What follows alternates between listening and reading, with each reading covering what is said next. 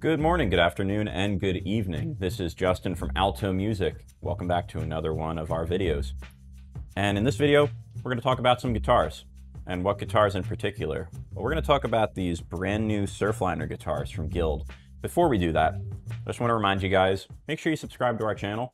Uh, you'll get notified before anyone else when we put up content because we upload it to YouTube first. Fancy that. You also don't have to do that, but we recommend you do. Anyway, back to guitars. The new Surfliner series from Guild is a vintage-inspired offset body line uh, made out of solid poplar wood.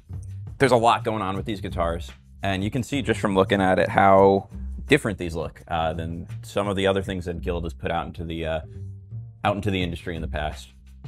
You know, you may know them from their acoustic guitars or even from their semi-hollows and their hollows, but I feel like this guitar marks sort of a new uh, a new generation for new guild players. It's got a uh, bolt-on 25 and a half inch scale maple neck, and it's got a satin finish on the neck as well. Really comfortable tune-o-matic bridge and string through body right here. You don't see too much of that, uh, you know, nowadays, but it's, it gives it a sort of a modern retro look, which I, I like that. And in addition, you got on the back here, it's a, the G neck plate which I actually didn't really look at it too much until just now. I like this a lot. What I like about this, the string through body to the tune-o-matic bridge, gives you a really nice feel on the guitar. Um, there's a really nice sustain and resonance to it, as well as a really great tension as you go up the neck. Uh, you don't feel like you're getting cheaped out as you get higher up there. It tends to stay pretty, you know, pretty even and pretty comfortable all the way up. You have a uh, LB1 uh, mini humbucker bridge right down here. Uh, and then the neck and mid pickup here uh, are going to be Dearmond Aerosonics. Uh, and, you know, each one of these has their own distinct characteristic. And to switch between these, something I haven't seen before, which I think is kind of cool, you have these three rocker switches here. So these are just on-off rocker switches. So instead of having the, you know, classic switch between the, you know, mid-neck bridge, you can turn them on separately. Uh, so, you know, when we have the this one here, furthest one in, that's going to turn on your bridge pickup. And that's going to give you the a really nice, it's got like a little bit of growl to it, but it's not, you know, not pushing it too hard. Um, really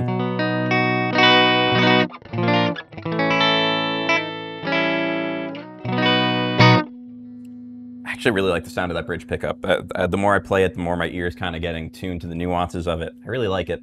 Um, and that one, you know, like I said, it's an on-off switch, so you can go, cuts it right out.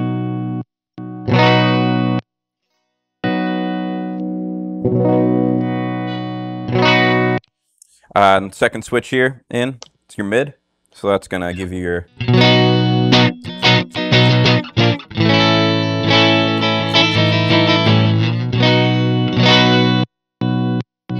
deal, on off. For fans of Tom Morello, this is sort of a workaround to get that sort of kill switchy sound, or not. You can be the judge of that. Uh, and then the top switch here gives you your neck pickup, as you would assume.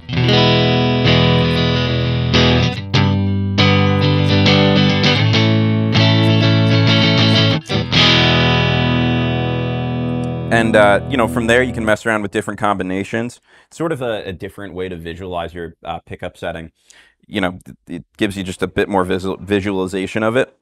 So you can do, you know, neck and bridge on.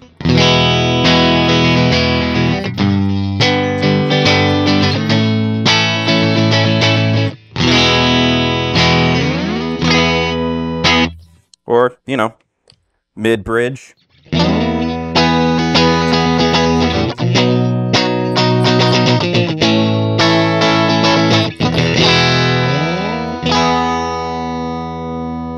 You know, neck and mid if you want to do that.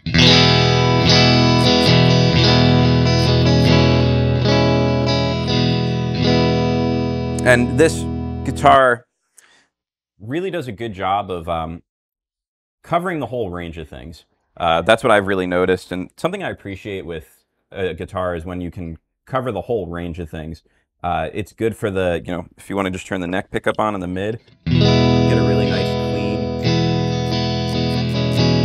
rhythm, for ballads, for, you know, solo stuff, whatever. And then crank on that bridge with the mid, get a really nice, you know,